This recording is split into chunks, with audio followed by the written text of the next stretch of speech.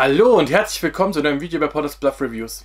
Heute möchte ich euch eine neue Reihe vorstellen, die gestartet wird über Play on Pictures und zwar jetzt im November 2022 mit der ersten Veröffentlichung und zwar Dark Water auf die wir gleich näher eingehen. Ähm, eine neue Reihe, die genannte J-Horror-Reihe, japanische Horrorfilme, vor allen Dingen Ende der 90er der frühen und frühen 2000er, die sehr berühmt wurden, unter anderem zum Beispiel The Ring, The Grudge, Dark Water, solche Sachen, solche Kaliber werden hier veröffentlicht, und zwar die Originale aus Japan natürlich. Und wir starten hier mit der Nummer 1, mit äh, Dark Water, das möchte ich euch ein bisschen näher drauf eingehen. Ähm, und was ich gleich vorweg sagen will, ich finde Play On halt dann jetzt hier mega cool. Also wie gesagt, früher Kochfilms natürlich, äh, Play On Pictures, dass wir jetzt so viele internationale Sachen kriegen. Ich habe vor kurzem erst die Wonka Wai Filme vorgestellt, dann die Italo-Western-Reihe Blüht und Gedeiht. Und jetzt haben wir eine neue Reihe aus Japan, also aus Fernost, was ich richtig cool finde. Und ähm, hier haben sie auch einiges dabei gedacht. Ich habe jetzt das ganze Material durchgearbeitet, möchte euch ein bisschen Einblick geben. Zunächst gebe ich euch mal meine Meinung zu den Filmen. Ähm, danach bekommt ihr, äh, gehen wir in die Nahensicht und schauen uns das Mediabook natürlich mal genauer an und das Booklet von Christoph N. Kellerbach. Und dann gebe ich mir ein kleines Fazit. Und wir sprechen natürlich darüber, wo ihr das Ganze bekommen könnt. Natürlich im Play-on-Shop exklusiv diesmal. Könnt ihr unten drunter verlinken, genauso wie die Italo-Western Collection, die auch Play-on-Shop exklusiv war. Die Wonka Wai-Titel gibt es zum Beispiel überall, aber jetzt nur so zum Beispiel. Und ähm, wir fangen das Ganze mal an. Ähm, ja, wir haben hier Dark Water. Ich muss jetzt leider mal das Booklet bei Rate nehmen, weil ich mich hier bei den Namen nicht verzetteln will. Denn mit japanischen Namen bin ich leider nicht so firm wie mit den englischen. Wir haben hier einen Film von Hideo Nakata und äh, nach einer Kurzgeschichte von Koji Suzuki. Äh, Hideo Nakata hat auch The Ring verfilmt oder Ringu, äh, das Original. Äh, ebenfalls von ähm, Suzuki geschrieben. Wie gesagt, das Ganze basiert auf einer 40-seitigen Kurzgeschichte, die heißt Floating Waters aus der Kurzgeschichtensammlung Dark Water ähm, aus den dunklen Tiefen des dunklen Wassers oder sowas richtig übersetzt. Keine Ahnung, ich habe es hier im Booklet gelesen. Ähm, und ja, hier wird aber die Kurzgeschichte ausgedehnt und äh, verlängert über den Film. Der Film ist auch, äh, hat auch ein drastisch anderes Ende als das Buch zum Beispiel. Aber ähm, ist einer der besten Genrevertreter und ich finde auch gut, dass das die Nummer 1 ist. Man hätte natürlich auch mit Ring anfangen können, aber ich glaube, das ist ein bisschen zu offensichtlich. Und hier hat man mit Dark Water angefangen, einem astreinen Vertreter des sogenannten J-Horrors. Man braucht ja für alles irgendwie immer einen Namen.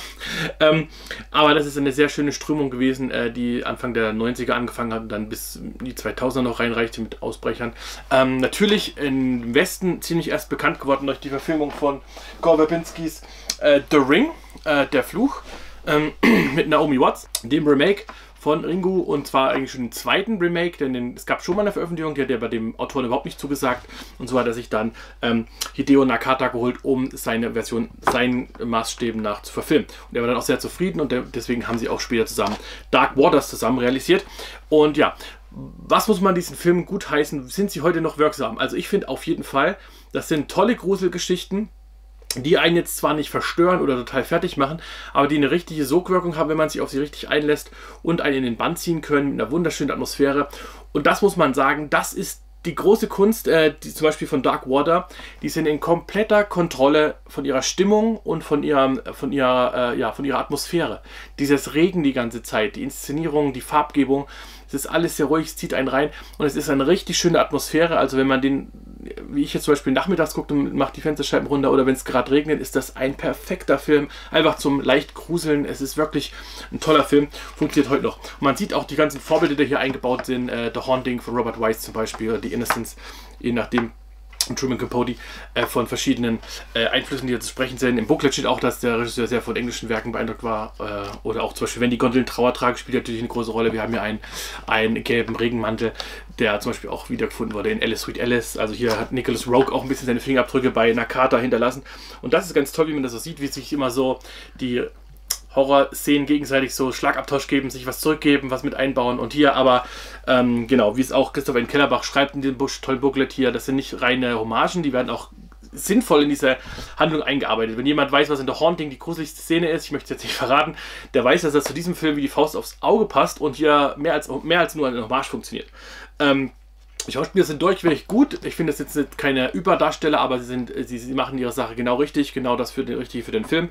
Auch die äh, Kinderdarstellerin ist klasse. Die Inszenierung ist toll. Auf dem Dach, äh, auf dem Dach, ja, die, der Wasserspeicher, das Haus, die Inszenierung mit diesem Wasserfleck, der ständig größer wird. Das sind alles schon äh, tolle Sachen, die später auch noch in anderen Werken auftauchen sollten. Und natürlich auch dazu haben, dass auch Dark Water ein, ein tolles Remake erfahren hat mit Jennifer Connelly aus dem Jahr 2005, das ebenfalls ziemlich äh, sehenswert ist. Ähm, Aber das Original natürlich hier ungeschlagen. Und ähm, ja, mir der Film wieder Spaß gemacht bei der Neusichtung. Ich habe ihn vor etlichen Jahren schon mal gesehen. Äh, da hatte ich ihn gar nicht so stark in Erinnerung, aber jetzt, wo ich ihn gesehen habe, muss ich sagen, sind die Qualitäten doch viel mehr rausgekommen, als ich sagen muss. Und das Schöne ist auch hier natürlich bei der J-Horror Collection, wir starten hier gleich mit einem 4K-Transfer und der Blu-ray, keine DVD mehr an Bord, äh, was ich als Sammler sehr toll finde. Denn ganz mal ehrlich, so DVD braucht man wirklich nicht mehr. Und Blu-ray-Player kostet mittlerweile ist, so billig, also da kann man wirklich, auf Blu-ray sollte man schon mal aufrüsten und ist aber auch hier gleich mit der 4K für die Zukunft gewappnet. Ich habe natürlich die 4K-Version geschaut und muss sagen, auch vom Bild her bin ich total beeindruckt. Man hier natürliches Filmkorn, astreine Farbgebung, das HDR ist dezent, aber effektiv. Ähm, ja, das Schönste ist für mich, dass das Filmkorn eingehalten wird, das habe ich schon gesagt. Und ähm, ich finde, das ist ein sehr, schön, sehr schöner Transfer. Natürlich jetzt keine, der dich anschreit, ah, guck, 4K, aber natürlich ein wunderbar dezent gesetzter und eben was halt das Tolle ist an 4K, man kann jetzt richtig filmgetreu sein und wirklich annähernd an eine frische Filmkopie rankommen, was ich total finde, äh, total toll finde. Ähm, Bonusmaterial gehen wir gleich ein, wenn wir in die Ansicht gehen. Ansonsten bleibt mir zu sagen, hier diese neue Reihe, was ich cool finde, ist, man hat hier diese seitlichen J-Cards benutzt, die eigentlich theoretisch keine J-Cards sind, denn man hat sich hier natürlich was dabei gedacht. Wir kommen natürlich aus Japan, Land der aufgehenden Sonne, und dort ist immer schon berühmt gewesen, äh, Obi-Stripes zu benutzen. Das, das ist das korrekte Wort für sowas hier, ein Obi-Stripe. Das ist eine, eine, japanische Eigenheit, die jetzt aber oft im Westen auch übernommen wurde. Das ist hier so ein seitlicher Einschub, wo man nochmal Sachen über das Produkt lesen kann oder nochmal ein paar Infos kriegt, was demnächst noch rauskommt. Und das sind, die sehen dann klassischerweise so hier aus bei Schallplatten, zum Beispiel von Suspiria. Äh, kann man dann hier was drüber lesen und das wird dann immer so hier angebracht, quasi an der Seite von Produkten. In Japan wird das auch bei Schallplatten, CDs, DVDs angebracht oder auch bei, sogar bei Klamotten und so weiter. Das ist sehr Japan üblich und deswegen finde ich cool, dass man das hier übernommen hat. Das ist mir gleich als äh, äh, Japan-Aficionado aufgefallen und das fand ich sehr cool. Hier kann man auch wunderschön gleich das FSK-Zeichen ver verstecken, aber da gehen wir gleich nochmal in der Ansicht auf ein. Dann äh, finde ich dieses ähm, äh, Cover sehr gelungen. Ich hoffe, dass es alles jetzt so weitergeht in diesem äh, Anime-Style. Hier haben wir schwarz-weiß gewählt mit Details aus dem Film. Auch gleich, wenn wir nah rangehen. Und ich möchte auch sagen, dass man auch jetzt, wo ich den Film nochmal gesehen habe, auch viele Sachen aufgefallen sind, die wieder so einen Schlagabtausch gegeben haben. Ich habe viele Dinge gesehen, die auch zum Beispiel ihren Weg gefunden haben in so Filme wie der Babadook, wie mit dem immer wieder Auftauchen dieser Tasche, die eine Bedeutung hat in diesem Film. Genau.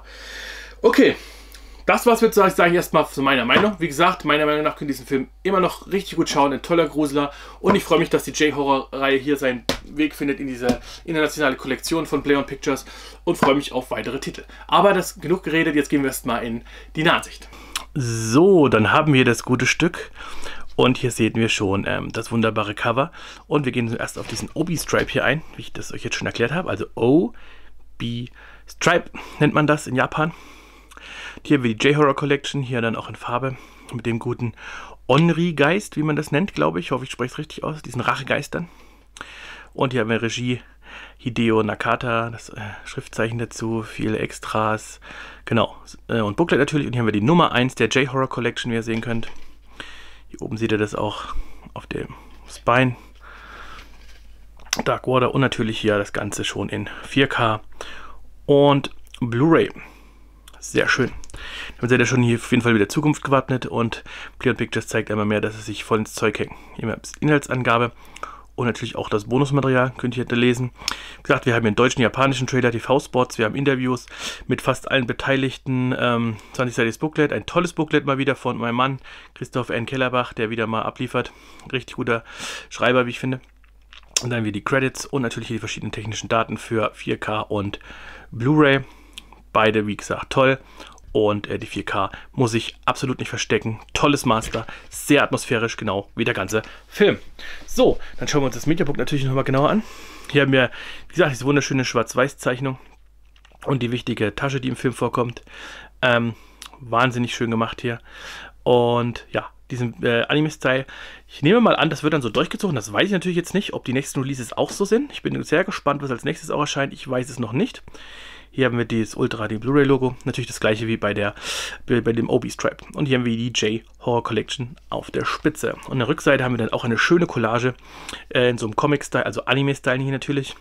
Mit verschiedenen Szenen aus dem Film nachempfunden als Anime sehr cool geworden und natürlich auch die ganze Stimmung im Film mit diesem Wasser die ganze Zeit, dem Regen die ganze Zeit ist wunderbar gemacht und hier haben wir dann auch natürlich die Blu-ray, äh, die 4K in entsprechendem äh, Design Sehr schön. Und hier natürlich auch als Hintergrundbild, was soll es anders sein? Dark Water natürlich. Dann gehen wir mal durch. Hier haben wir so ein schönes Ding. Und ich muss sagen, der ganze Film hat aber so einen Look noch, finde ich, wie in den späten 90ern.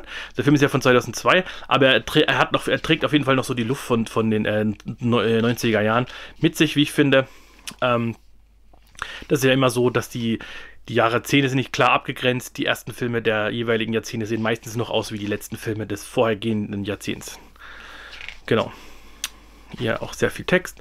Es geht hier vor allen Dingen in äh, Kellerbachs Booklet um äh, Suzuki, äh, Suzukis Werke, äh, wie die umgesetzt wurden, äh, den Japan-Boom allgemein an sich von dem J-Horror, als die Geist-Horror aufkam, ähm, vor allem auch den, den Zustand von Japan zu der Zeit mit der großen ähm, Blase, der Inflationsblase und so weiter. Hier wird dann auch eine Seite mit den ganzen ähm, Quellenangaben. Und dann kommen wir hier natürlich auch abschließend noch zur Blu-ray. Die darf nicht fehlen. Ich finde die immer noch wichtig, die Blu-ray. Es darf nicht nur eine 4K sein, weil man ganz oft irgendwo ist, wo man, wo man halt noch nicht 4K äh, abspielen kann. Deswegen begrüße ich das immer sehr, gerade wenn man viel unterwegs ist und auch anderen Leuten Filme zeigt, äh, finde ich das immer ganz cool. Genau. Das ist dann hier dieses wunderschöne Design.